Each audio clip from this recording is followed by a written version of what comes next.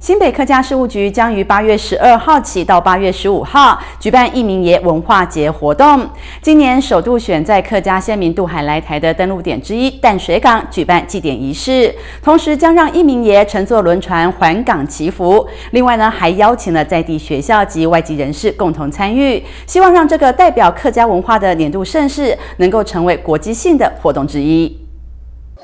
新北市义民爷文化节将于八月十二号起到八月十五号，在淡水区金色水岸广场展开，而这也是十九年来首次选定客家先民渡海来台的登陆点之一——淡水港举办义民爷的祭典活动，纪念我们客家先民啊，当初在北部登陆哦，淡水就是第一站哦，所以现在还有荧光寺在那边哦，所以我们第二个意义呢，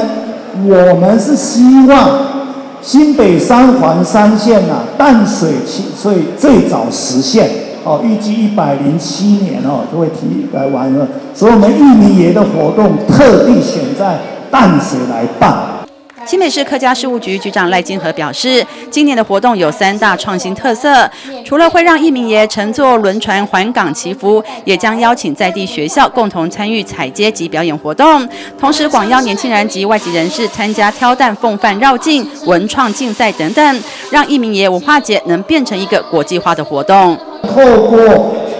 第一次移师到淡水办，哦，祈求能够有新的创意，有年轻人的加入，有国际人士的加入，让一民爷的活动慢慢变成一种国际化。新北客家义民爷文化节八月十二号将会到新竹公营义民爷，八月十三号、十四号为主场活动。除了祭典仪式，还有创意彩街嘉年华等等的动态节目。另外静态的部分则会有义民文化主题馆、客家特色商品展售等等，欢迎民众一同体验客家的信仰与文化。记者杨邦友、陈芳琪新北市采访报道。